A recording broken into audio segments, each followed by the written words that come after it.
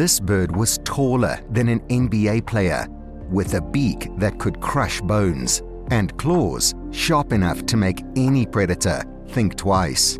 Meet Kelenken, the infamous terror bird that once roamed the land of prehistoric Patagonia. This flightless bird dominated its environment with a combination of size, speed, and sheer ferocity that makes modern predators look like gentle house pets. What's tragic is despite being so freaking amazing, Kelenken got just one appearance on the old show Prehistoric Predators. We think it deserves another go.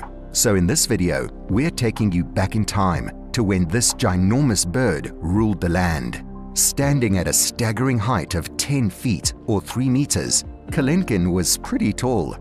In fact, it was one of the largest birds ever to walk the earth.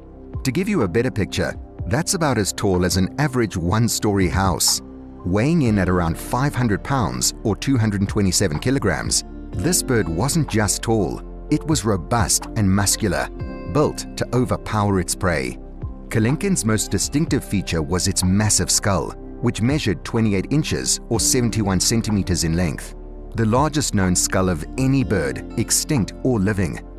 This skull housed a beak that wasn't just for show, the beak was capable of delivering forceful, bone-crushing bites, making it a deadly weapon in the bird's arsenal.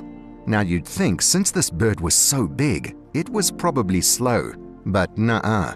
Kelenken was surprisingly fast. Its long legs were built for speed and endurance, allowing it to chase down prey with ease. These legs also gave it an impressive stride, making it a formidable runner. Although its feathers were not suited for flight, they provided insulation and a degree of protection from the environment. As for what it ate, you know a bird's going to be scary when it's a meat eater. Kelenken was a carnivore and not a picky one. Its diet likely consisted of small to medium-sized mammals, reptiles, and even other birds. With a beak designed for tearing flesh and crushing bones, it could take on a variety of prey. All terror birds were scavengers, they are often thought to have been the top predators in South America during the Cenozoic era, especially since there were no large placental mammal predators around. However, they did live alongside some big meat-eating mammals called borhyaenids. Early ideas about how these birds hunted were mostly based on their large heads with hooked beaks, rather than detailed studies. It wasn't until the early 2000s that scientists started doing more in-depth research on how these birds ran and hunted. In 2003, researchers Alvarenga and Elizabeth Höfling shared some general thoughts about the habits of terror birds. They pointed out that these birds couldn't fly, which was clear from the size of their wings compared to their body weight. Bigger birds in this group had even smaller wings. The researchers suggested that the narrow shape of their pelvis, upper jaw, and chest might have helped them hunt smaller animals in areas with tall plants or rough terrain. They also noted that the large bony structures above their eyes, similar to those in modern hawks, would have protected their eyes from the sun and given them excellent vision. This means that terror birds likely hunted by sight in open sunny areas rather than in dark forests. Its hunting strategy involved stalking its prey with stealth and then delivering a fatal strike with its powerful beak and sharp claws. As a top predator, this bird had no natural enemies giving it free rein over its hunting grounds. It likely relied on a combination of speed and surprise to catch its prey. As mentioned earlier, Kelenken was pretty agile, so it was capable of quick bursts of speed to close in on its target. Once within striking distance, it would use its beak to deliver a crushing blow, incapacitating its prey instantly.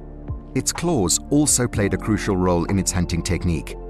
These fierce claws, similar to those seen in modern birds of prey, were perfect for gripping and tearing apart its catch. Apart from these, it had several other notable features. Its legs were long and powerful, built for both speed and endurance. These legs not only helped Kelenken run down its prey, but also made it a capable traveler, covering large distances in search of food. Moreover, its vision was likely sharp, similar to that of modern raptors. This keen eyesight would have been helpful in spotting prey and avoiding obstacles while sprinting at high speeds. This bird comes from the open plains and scrublands of prehistoric Patagonia, a region that is now part of modern-day Argentina. This habitat provided plenty of space for the bird to roam and hunt, with a climate that supported a diverse range of prey animals. The open landscape also allowed Kelenken to use its height advantage to spot potential meals from a distance, making it a master of its domain.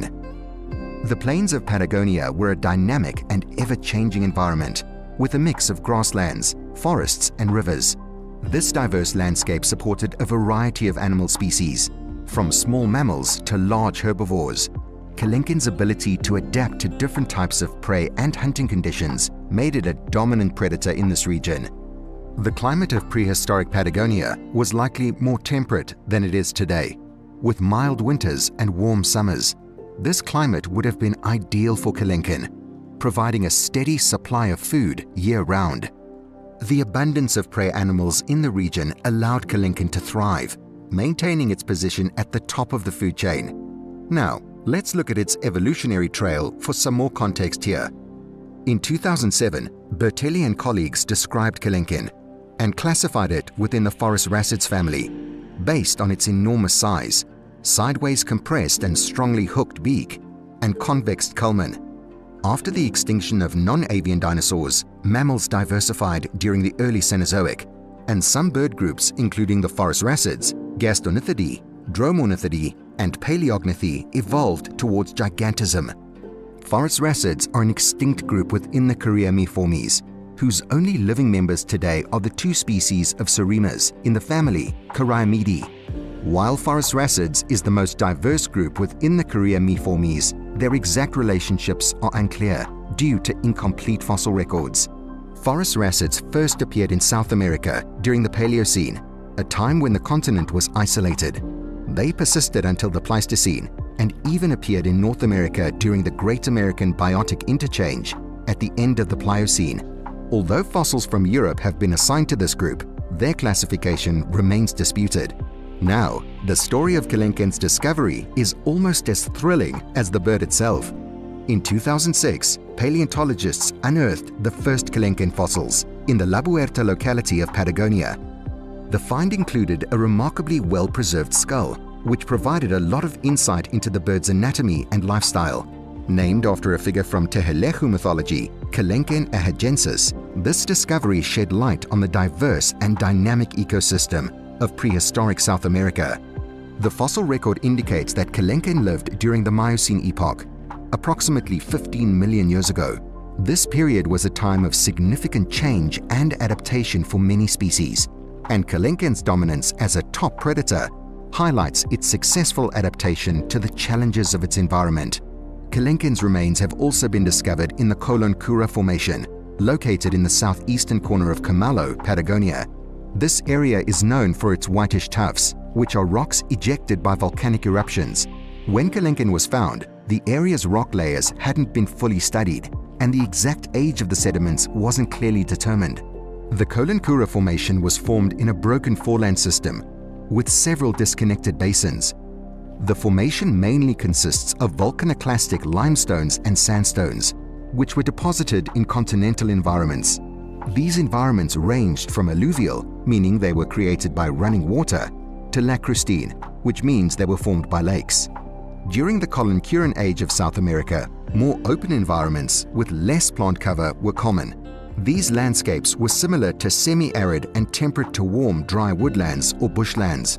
This shift allowed for more running adapted and large animals, unlike the previous late early Miocene period, which had well-developed forests and tree-dwelling animals. These forests were mostly limited to the valleys of mountain ranges, with fewer tree-dwelling species.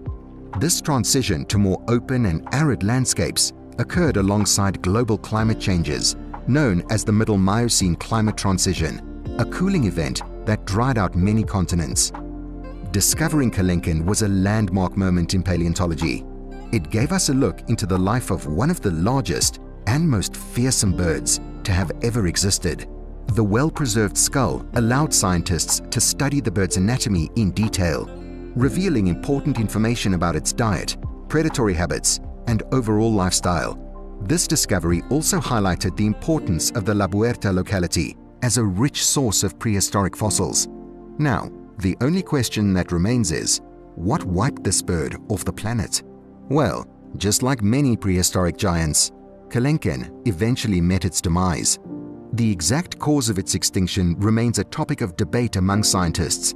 Some theories suggest that changes in climate and habitat played a significant role, while others point to competition with emerging predators and changes in prey availability.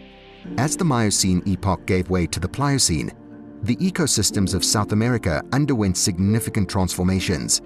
These changes likely created new challenges for Kelenken, leading to its eventual extinction. Despite its fearsome reputation, Kelenken was unable to adapt to the rapidly changing environment, marking the end of its reign as one of the top predators of its time. This bird's extinction serves as a reminder of the delicate balance of ecosystems and the impact of environmental changes on species survival. While Kelenken was a dominant predator, it was not immune to the challenges posed by a changing world. Today, Kelenken stands as an amazing reminder of the incredible diversity and complexity of prehistoric life. Its towering height, powerful beak, and fierce predatory habits make it one of the most fearsome creatures to have ever existed. While we may never see the likes of this bird again, its legacy lives on in the fossil record and videos like this. If you could give this terrifying bird a nickname based on its characteristics, what would it be? Drop your suggestions in the comments below, and we'll catch you in the next video.